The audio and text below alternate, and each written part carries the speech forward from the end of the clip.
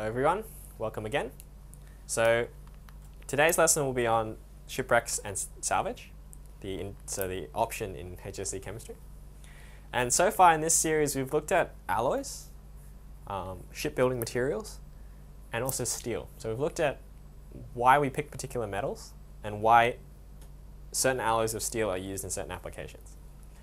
Now we're going to look at, well, the main cause of any sort of damage to ships and other um, metal objects is corrosion. And so we're going to look at the mechanism of rusting. Okay? So how does this rust actually form? And is there a way to sort of hinder it? Okay? So oxygen and water are required for iron to rust. So steel, iron, any sort of iron compound will rust, um, or any iron alloy will rust unless it's of course something like stainless steel. So rust is essentially hydrated iron oxide. So rust is essentially you've got water and iron oxide and they've sort of mixed together and so you get hydrated iron oxide. So its formula is Fe2O3 um, with some sort of X amount of water um, where X is either 1 or 2, depending on the chemical conditions. So the reactions that happen during rust, so the actual mechanism, is that iron solid, so the iron atoms, uh, oxidize to form iron, to form Fe ions and 2E minus. So I always have trouble because it's iron ions, so we'll just call it Fe from now on. So Fe ions um, and two electrons. Now what happens is the reduction, the reduction reaction is actually a reduction of oxygen that's been dissolved in the water. So the oxygen atom, uh, oxygen molecule, sorry, and two water molecules uh, plus four electrons give you four OH minus ions. Okay. So it absorbs electrons and gives you four OH minus. So the reactions, uh, so then what happens is the Fe ions react with the hydroxide ions to give you uh, iron hydroxide, which is insoluble. And then that iron hydroxide reacts with oxygen to give you the hydrated iron oxide that we were mentioning before, which is also insoluble.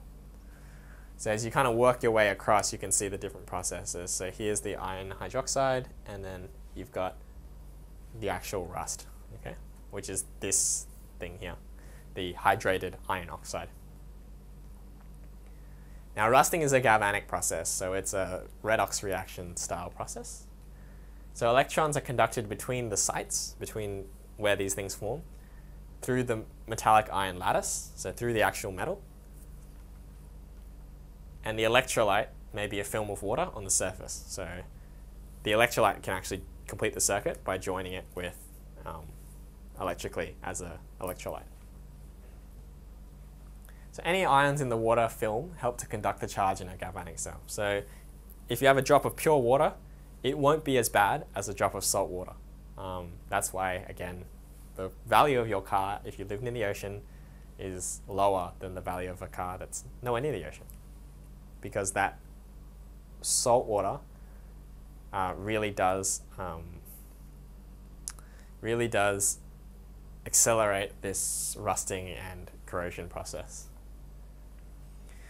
Now, the conditions for rusting, so we can promote rusting by the presence of electrolytes, having those electrolytes around.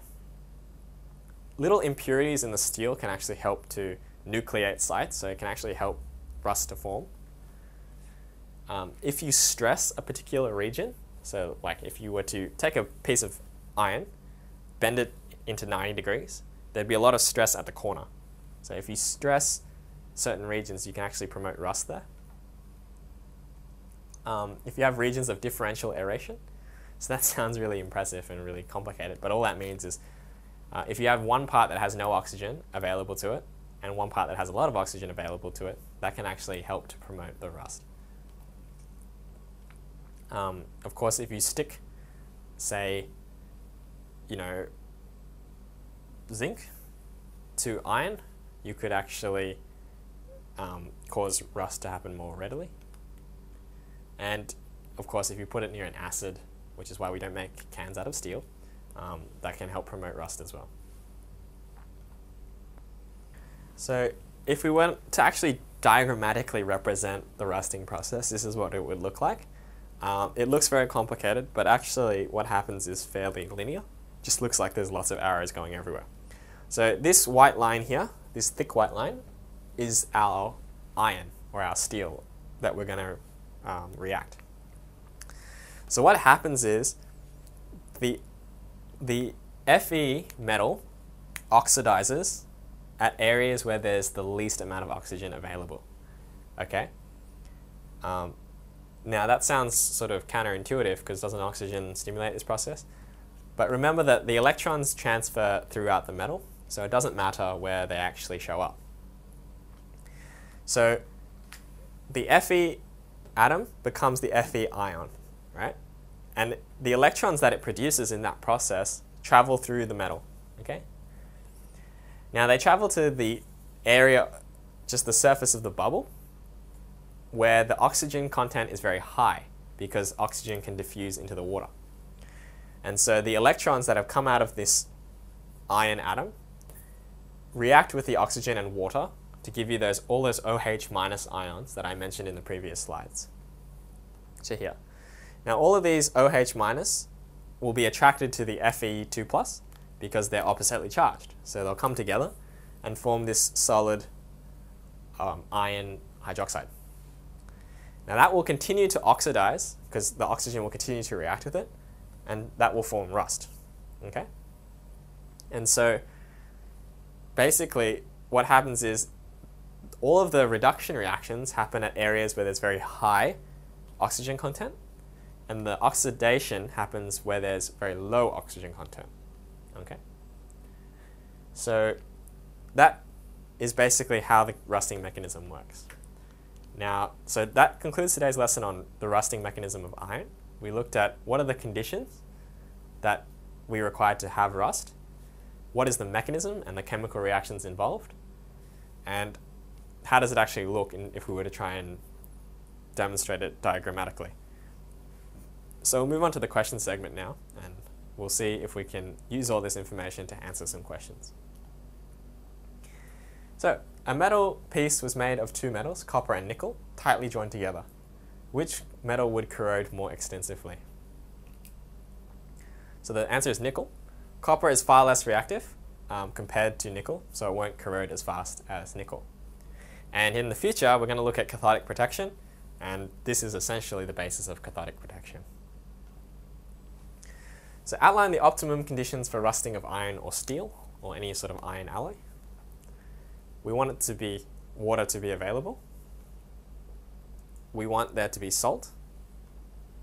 And we also want oxygen-rich environment. We want a lot of oxygen to be available as well.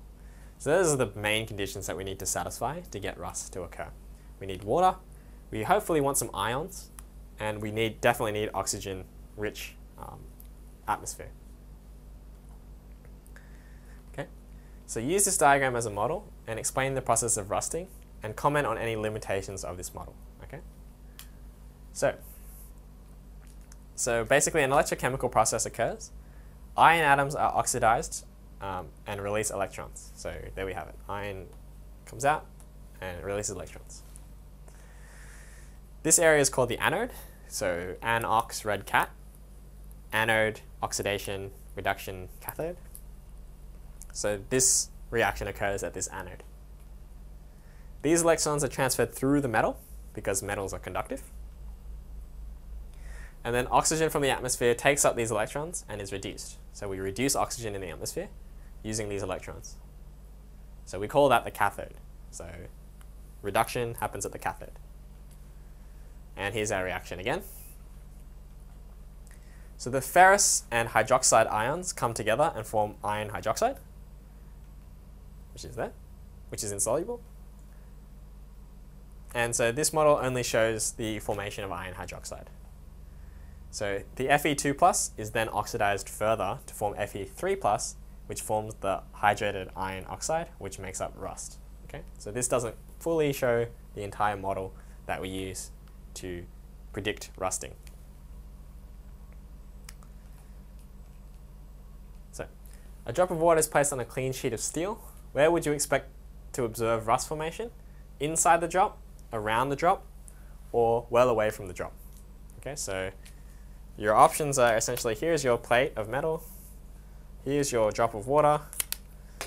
Do we expect to see the rust here on the edge of the drop, here in the center of the drop, or somewhere random like on the other some other part of the piece of steel? Okay, so just think about it while I erase this, and we'll see if we can get the right answer. So, rusting occurs around the edge of the drop because that's where most of the oxygen is available. Um, so, with the electrons that are moving through the iron and away from the oxidation site, which is under the drop. So we see that we see the rust actually form at the edge because that's where all the oxygen is. And remembering that the oxidation happens at the center of the drop where there's no oxygen. So the electrons travel away and react with the oxygen, and then the ion the Fe ions can mix with the hydroxide and form iron hydroxide, but they need to get more oxygen, so they go to the edges and get the oxygen to become rust. Okay, so that so it would form around the edge. So the rusting reaction is a complete set of re redox reactions. It's a complex set of redox reactions, not a complete set. It's a complex set. Describe the, the anode reaction in rusting and include an equation. So iron metal is oxidized to iron 2 ions, or ferrous ions, um, and so they lose electrons. So there's our reaction. Okay. Describe the cathode reaction, so a similar question. Oxygen is reduced, gaining electrons, reacting with water to form hydroxide ions. Again, we've seen that reaction before. And then construct the overall equation leading to the formation of iron 2 hydroxide and outline any further oxidation that occurs. So, if you combine the two equations, the left-hand side and the right-hand side, you'll get this, and that gives us our iron hydroxide. So the ferrous and hydroxide ions form iron 2 hydroxide, which gives us this. And then further oxidation of Fe2 plus to Fe3 plus gives us the reduction of oxygen. And we finally get to our rust process here. Okay. So the overall formation of rust can then be written as this reaction. Okay. So if you go back through each equation and you write down um, all the terms on the left-hand side, all the terms on the right-hand side, and cancel them all out, you'll actually see this just jump out at you. Okay. So that concludes today's lesson on rusting and the mechanism of rusting. And it concludes our series on alloys. So we looked at, in this lesson, we looked at rust and how it forms. And in this series, we looked at alloys, steel, and how steel rusts.